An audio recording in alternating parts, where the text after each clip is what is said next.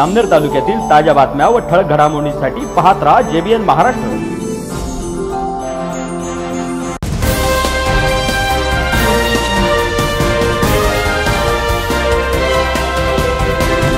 नमस्कार मी मिनल चौधरी. पाहूया काही ठळक वृत्त.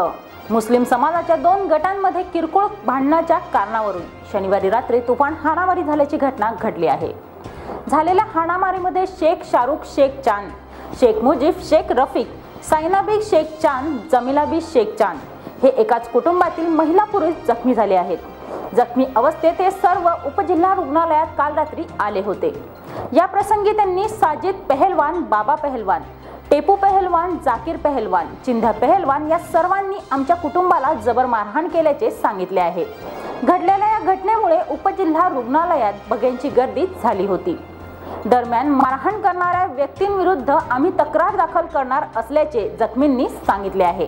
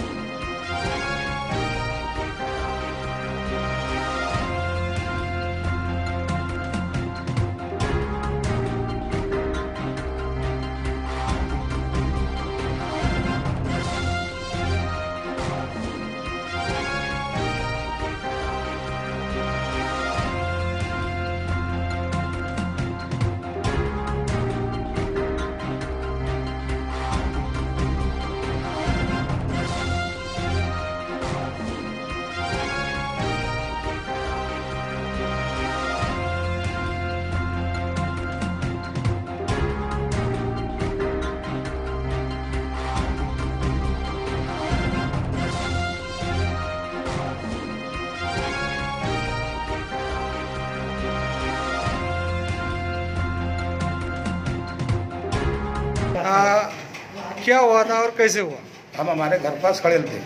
पुलिस स्टेशन में जो वापस लाए कंप्रोमाइज कर लेंगे बोले वापस लाए। उसके, उसके बाद में क्या हुआ हम हमारे घर पास खड़े। आठ दस झेने उधर से आए उसके हाथ में क्या हेड़ा के हाथ में तलवार थी। और आठ दस झेना मेरे को घेरे वहाँ कुर्चा भी टूट के पड़े सब टूट के पड़े लाए। मेरे बच्चे को मारे मेरी बेटी को मारे सबको मारे वो क्या सबको बुला रहे उसको बुला। वो पोरी को मारे रोड पर ही मार रहे। चप्पल फेंक के मारा था। कब? सवेरे अच्छा। कितने बजे? दस एक बजे चप्पल फेंक के मारा उनकी मोटर साइकिल पर बैठा था उनको गाली गलौज करा चप्पल फेंक के मारा। उस पर से वाती बात करे हाथ पाँव पड़े उन्होंने पहले और उसके बाद में पुलिस स्टेशन में गए रुपये बाद में। तो उसके बाद में पुलिस स्टेशन में जो वापस लाए।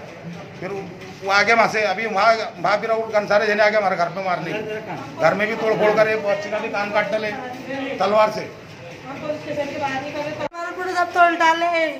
हमको बहुत मारे हम बगुला फेंके उठा उठा के दीवार पे। लाता से मारे हमारे पेटों में तीन चार बोरे थे वो गन थे वो पंद्रह बीस थे, पंद्रह बीस पंद्रह मैंने भाई बोली मेरे भाई ज़ोर तो मेरे को लात मारा? आगे भी पत्थर मार दे वो कुत्ता भी मार दे मस्तक पे मेरे को बोले भाई मैं घूम जा रहा था मेरे को लात मारा?